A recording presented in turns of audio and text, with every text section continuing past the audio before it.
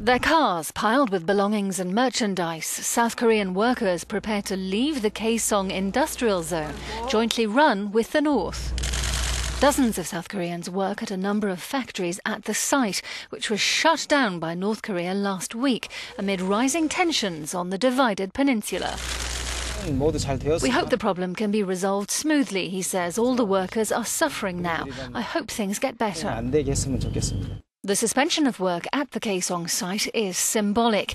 Before work was suspended, it was the last remnant of cooperation between the neighbours. Food and fuel supplies are running low. 북한이 어, 이러한 A spokesman for South Korea's unification ministry described the North's lack of response to calls for food and fuel supplies to be sent as regrettable. 대단히 유감스럽게 생각합니다. Kaesong opened in 2004 as part of a so-called sunshine policy of engagement and optimism between the two Koreas.